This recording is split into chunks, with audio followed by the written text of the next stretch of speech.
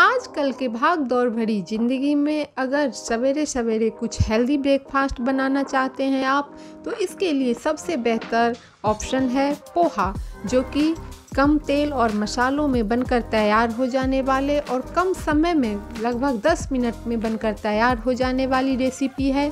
तो नमस्कार PGs kitchen में आपका स्वागत है और बनाते हैं हम पोहा।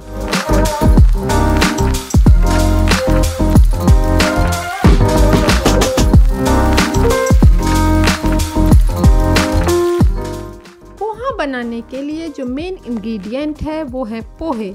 बाज़ार से पोहे लेते वक्त हमेशा ये ध्यान रखें कि मीडियम वाले पोहे लें, ना ही ज़्यादा पतली पोहे लें, ना ही ज़्यादा मोटी।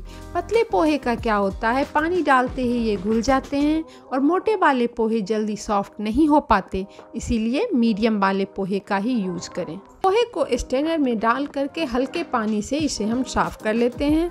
साफ़ करने के बाद इसमें हम आधी छोटी चम्मच चीनी डाल करके इसे छोड़ दें। के लिए सबसे पहले हमने एक प्याज लिया है, जिसको बारीक काट लिया है। ये 25 ग्राम के आसपास मूंगफली है। ये एक छोटी बाउल सेब है, एक चम्मच सरसों के दाने, एक हरी मिर्च, जिसे बारीक कट कर लिया है, एक नींबू का टुकड़ा, आप पाँच से छः कड़ी पत्ते, दो चम्मच तेल, एक छोटी चम्मच हल्दी पाउडर, नमक स्वाद के अनुसार चलिए शुरू करते हैं। पोहा बनाना, इसके लिए सबसे पहले थोड़ी सी तेल, यानी आधी चम्मच तेल। और इसमें ये 25 ग्राम जो मूंगफली रखी है, उसको डाल के हम रोस्ट कर लेते हैं।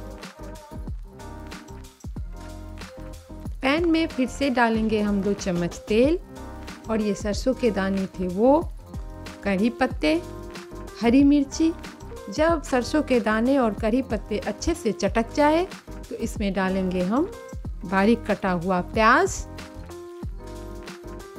और प्याज को भी हम गोल्डन ब्राउन होने तक भून लेते हैं। प्याज जब हमारा गोल्डन ब्राउन हो जाए तो इसमें हम डालेंगे हल्दी पाउडर। एक दो बार हल्दी पाउडर चलाने के बाद हम इसमें पोहा, जो पहले से रखे हुए थे, वो हम डालेंगे। पोहा को भी मिला लेते हैं अच्छी तरह से। फिर इसमें डालेंगे स्वादानुसार नमक।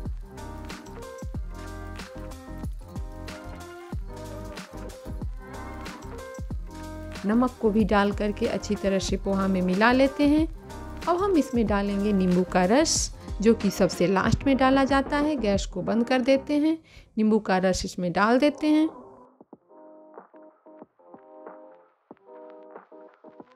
ये पोहे बनकर के तैयार हो चुके हैं। अब हम इसे एक प्लेट में निकाल लेते हैं। इसमें रोस्टेड मूंगफली, नमकीन सेब और हरा धनिया, इससे हम इसको तीनों चीज़ों को इसमें हम मिला देते हैं।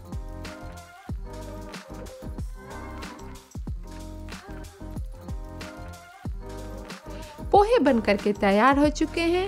ये बहुत ही हेल्दी होता है, बहुत कम समय में बनता है। आप अपने किचन में इसे ज़रूर बनाएँ। बच्चों को भी बहुत पसंद आता है। अगर आपको ये रेसिपी अच्छी लगे तो इसे लाइक और शेयर कीजिए और हमारे चैनल पीजीज किचन को ज़रूर सब्सक्राइब कीजिए। Thank you